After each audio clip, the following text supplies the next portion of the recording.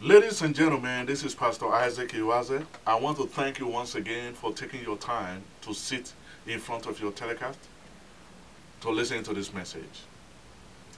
Again, I'm going to be speaking on something that is of paramount importance in our lives. That is what I call sin. Before I begin my message today, I'm going to have a word of prayer with you. Heavenly Father, may honor and glory be unto your holy name. May your name be glorified. Father Lord, I thank you for these ones that, have, that you have given the opportunity to listen to this message. I pray that the Holy Spirit will touch their lives and their life will not be the same again. In Jesus' name, amen. My friend, it is my prayer that as you listen to this message, at the end of it, the Holy Spirit will make changes in your life. Like I said before, I'm going to be speaking about sin. What is sin? Sin is an act of breaking the law. Now, when we talk about sin, we are talking about a deliberate act of breaking the commandment of God. Now, the commandment of God started from the Garden of Eden. When God gave commandment to Adam and Eve, he told them not to eat of the fruit of knowledge and evil. But when the devil saw that God had given them commandment, he went back to the Garden of Eden and deceived Adam and Eve to break the commandment of God. And we know that from that moment, the life of man was never the same again. Because of the disobedience of Adam and Eve, we have so much, a lot of miseries that came unto man. We have death, we have sufferings of different magnitude, disease, poverty. The life of man has never been the same again.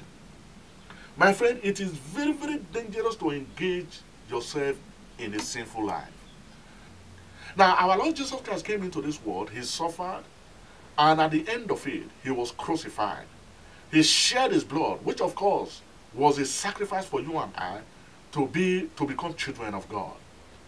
At the end of three days, our Lord Jesus Christ resurrected from the grave. He went to heaven, and right now is seated at the right hand of the Most High God. My friend, the reason that our Lord Jesus Christ did that was to purge us of all unrighteousness, was for the remission of our sins. But now the issue we are dealing with tonight is, is it reasonable for us, those of us that have proclaimed the goodness of God, those of us that have laid down our life for our Lord Jesus Christ, those of us that have come to him and say, Lord, forgive my sins.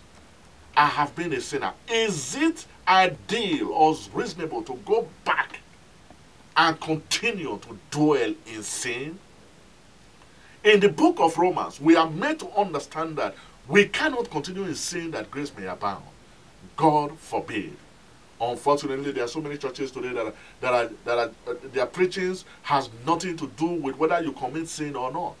And a lot of these churches are engaged in how you can prosper, how you can make a lot of money, how you can acquire material things. And some of these churches, unfortunately, are even preaching that it, grace covers your sin. It doesn't matter the kind of life you live. My friend, I want to make you understand that the judgment of God is going to fall upon the children of disobedience. Our Lord Jesus Christ came into this world. He did not come into this world so that he can give us a ticket to go and commit sin. He came into this world so that he can give us the power and the ability to overcome sin. Our Lord Jesus Christ said in his word, he said, my sheep hears my voice and I know them.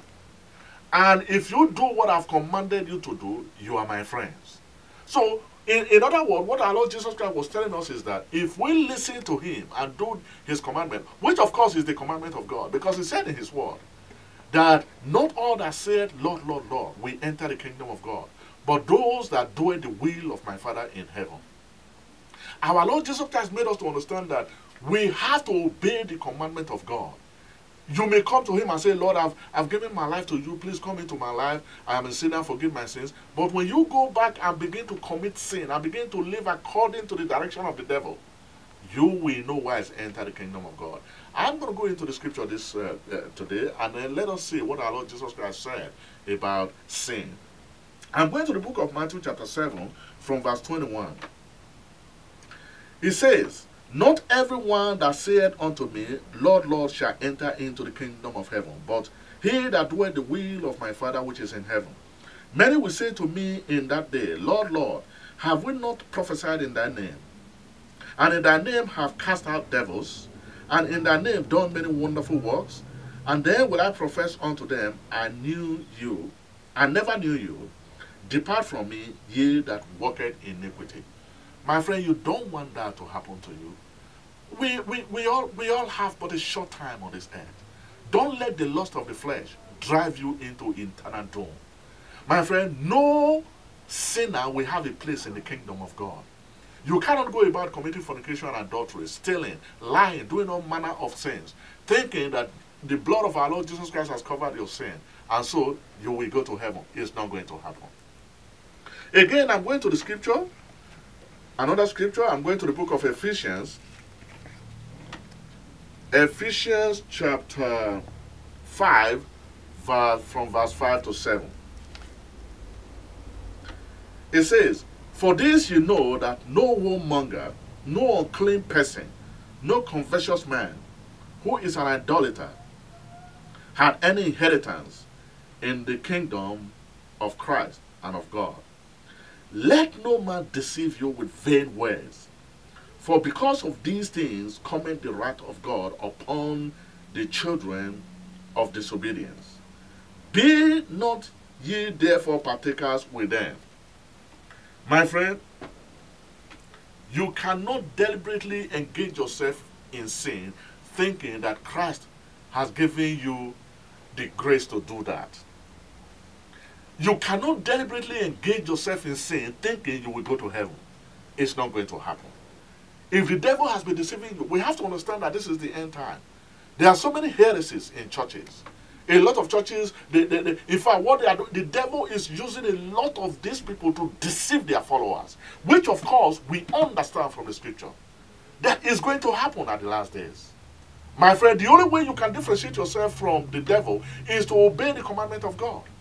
Our Lord Jesus Christ said, Until your righteousness shall exceed the righteousness of the Pharisees, you shall in no wise enter the kingdom of God. Our Lord Jesus Christ made us to understand that if our life is not different from the people of the world, you will not enter the kingdom of God. He did not come to hang himself on the cross of Calvary with blood gushing out of his body so that you can go to Paris on weekend, so that you can go commit adultery, so that you can go commit fornication, so that you can hook yourself on drug, and thinking that you will go and live in the kingdom of God. It's not going to happen. Don't be deceived. But you have the power to change this morning. The Holy Spirit will give you the strength to change. I'm going to pray for you. Heavenly Father, may honor and glory be unto your holy name. May your name be exalted forever. I pray for these ones that have been that have been hooked on one thing or the other, that you may give them the power to overcome it. We know that we cannot continue to live in sin that grace may abound. Heavenly Father, as many of them that have fallen on their nail, asking for repentance, Father, I pray that you forgive them in the name of Jesus. Thank you, Heavenly Father. In Jesus' name I pray. Amen.